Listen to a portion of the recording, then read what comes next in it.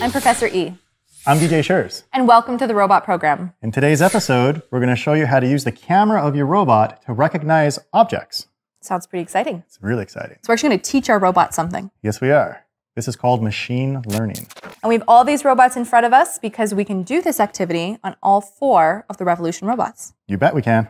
And so who are we going to use for this episode? We, of course, are going to use JD. Of course. Yes. Well, to begin, we're going to want to turn our JD robot on, of course, and lie him down. And on our computer, we're going to load up our EZ-Builder software. And we're going to skip going to the robot course. And we're going to connect to our Wi-Fi network for the robot. And we're going to choose example projects. We're going to use JD for this example, so we're going to want to load the JD Bare project. If you have AdventureBot, load AdventureBot Bare. If you have Six, load Six Bare. And if you have Roli, load Roli Bare. So the Bare projects give us a nice clean workspace to start from. We'll skip building a robot and load your servo profile for JD if you have one. And of course, when we connect to him, he's an initialized, so stand back. And JD does his stuff. And we always start off with JD standing up.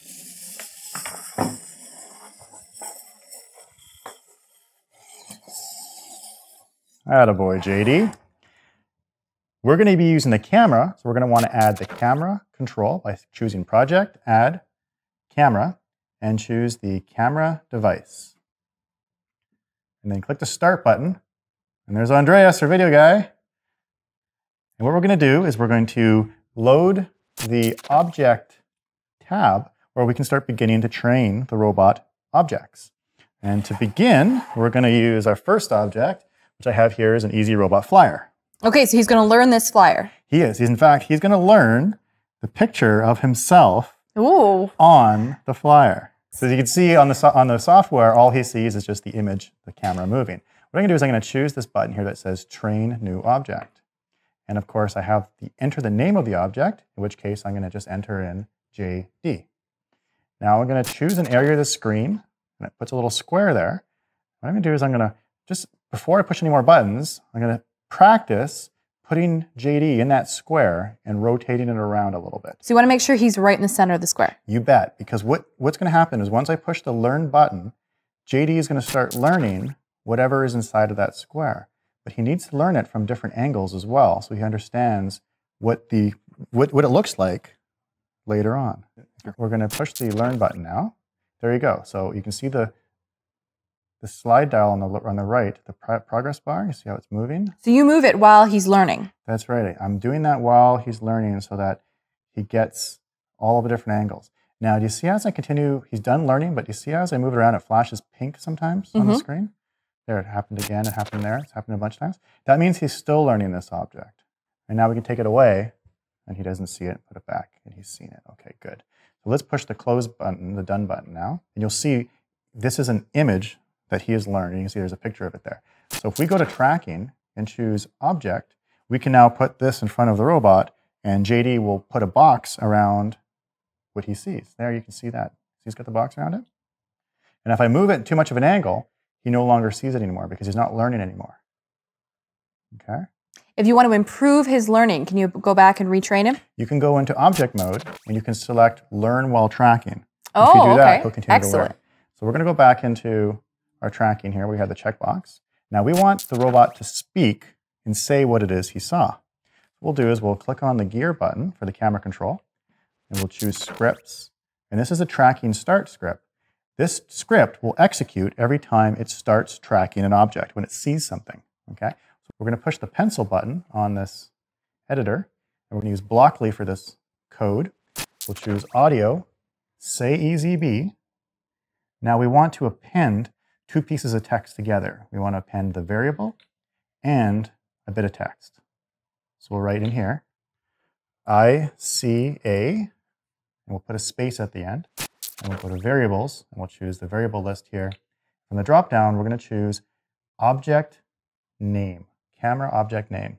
That is the default variable that stores the name of the object we just trained. In this That's right. case, it's the word JD. We'll push the save button and save again. So now when I hold this up in front of JD, I see a JD. he sees a JD. It's pretty good. Yes. Now we can get a little more creative. We can teach it our faces. All right, let's do that. So do you want to do you want to begin? We'll, Yeah, we'll teach JD teach your me. face. So right now he doesn't know me from anybody else. He does not. So we got your face in there. So we're going to go to object mode, train a new object. and now, we'll do I move in- my face around? You're going to? Yeah. I'll show you how to do that. So we'll type in Professor E. I'll choose an area of the screen right there. Now you're going to want to stand back a little further. There we go. Okay, so now just move your head back and forth, left and right, up and down a little bit. There you go. And you can come a little closer so you get more of the box on your face. There we go. Okay, so I'm going to push the button and just do exactly what you just had done. Turn your face side to side, up to down. There you go. Keep going, up and down. There you go. Perfect. So now he's recognizing your face. Now what we'll do is we'll push the done button. And now let's train. I see a professor. now let's train my face. Okay, so he's using the same script that we already programmed because we're using that default variable is going to put in whatever name we called the things that we've trained it to see. That's you got it. So I'm going to choose the screen here, and I'm going to put my face in there, and I'm going to do the same thing. I'm going to rotate my face back and forth. There. So now he sees my face. Okay. Okay. So I'll choose done. I see a DJ. Now he's going to speak the last thing he trained. That's why he's speaking oh, now. Oh, okay, gotcha. So now that we have object training or tracking set, so now we can do this. We can put this in front of the robot. I see a JD. Okay. And now you see this tracking here. We want this tracking number to go down. Now he's ready to learn something or to detect something new. So now let's do this with you. Let's put your face in front of JD. There we go. I see a professor. Excellent. And of course, once the tracking goes away, we can put my face back in there. I see a DJ. So this is great. So normally we can have our robots do face tracking, but they're tracking any old face. Mm-hmm. Now our robot has actually learned our faces and how we're different from each other.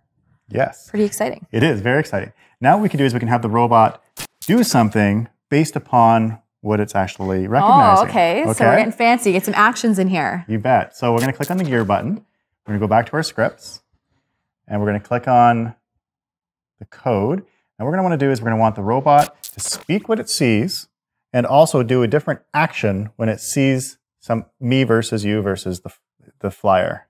Okay, Okay. so we're gonna need some logic for that. So we're going to choose logic. We're going to choose the if condition, and we'll put the if condition underneath say, and we are going to click on here. We're going to add an else if,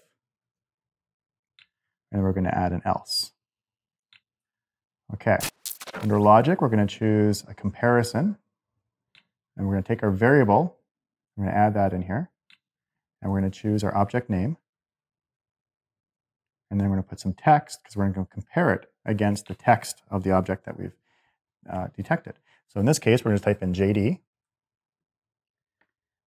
And then we're going to have JD, when he detects himself, let's have him point. Sure. Okay, so we'll choose point. And now we're going to take this block of code that we've just entered. We're going to right click on it and duplicate it. Now we have another duplication of just that block, which we can drag into our else if. So we're gonna give him a different if command this time, something right. else he's gonna test. And so now this one is going to be Professor E. So we'll type in Professor E. And for the movement for Professor E, we're going to want JD to, how about wave? Sure. Okay. So he'll wave when he sees you.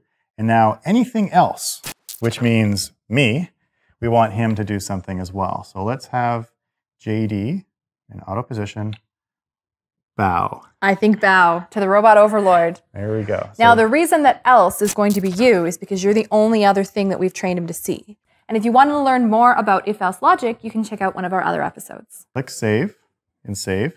Now we can start with our flyer.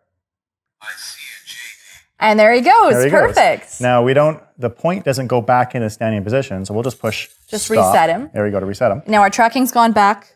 So we know he's not tracking anything else right now. Tracking's off. So he's ready to see something new. He's ready to see you. He's ready to see me. Okay, let's try it. All right, is he gonna wave at me? There I he, see a professory. and he waves at me. Perfect. That's what we programmed him to do. We did. Now let's see what he does when he sees the robot overlord. I see a DJ. Very nice. Good. Thank you, JD. We've seen how you can teach JD to learn different objects, and now you can get creative with this feature and continue teaching your robot.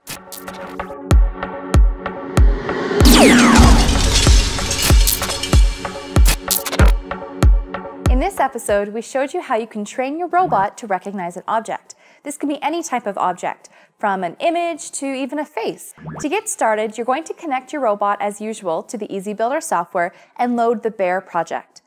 The Bare project provides a clean workspace without any additional controls, and this allows you to add only the controls that you need for the particular activity.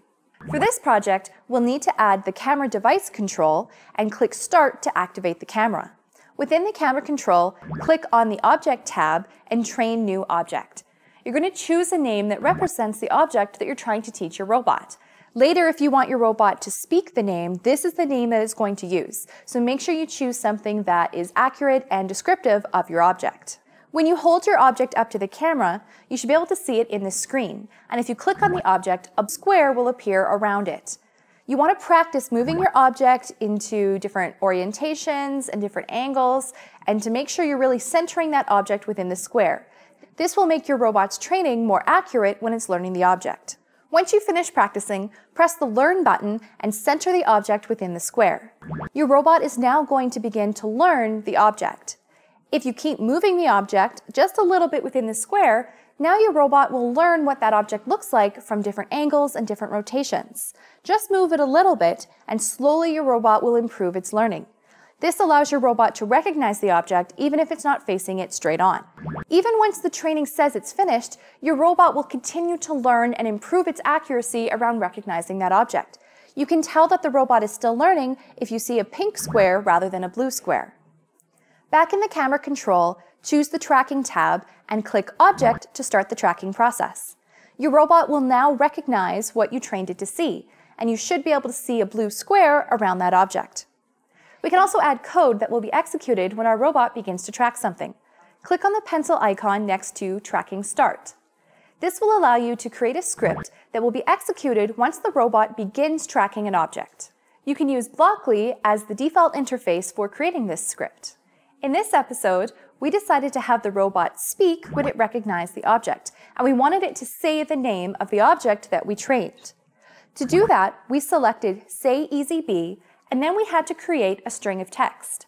We do this by using the Create Text With command, and this allows us to append two different pieces of information together.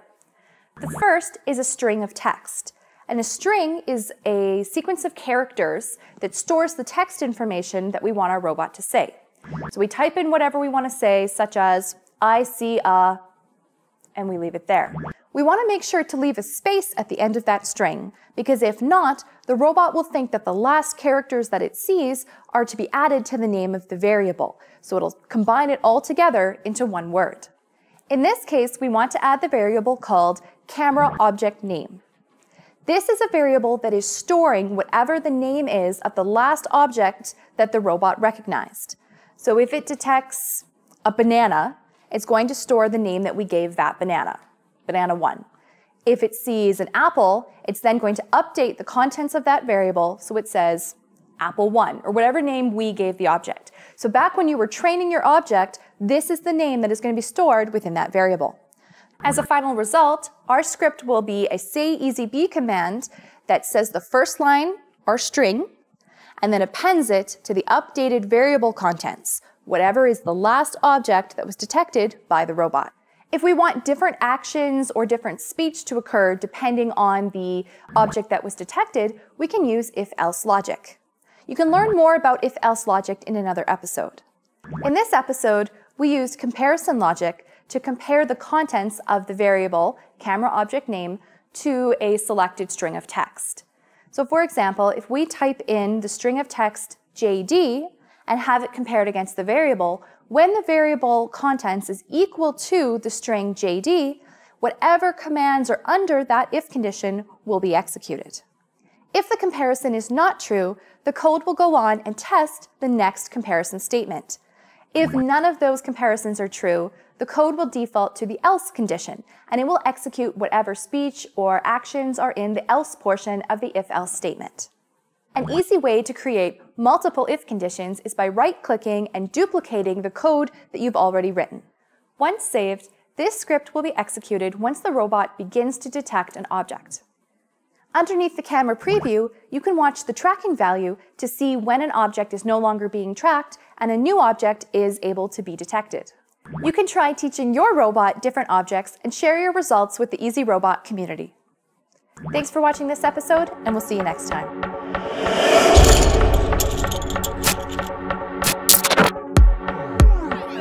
Why are objects rotated while the robot is learning? What does the pink colored square signify? Which variable stores the name of the last recognized object?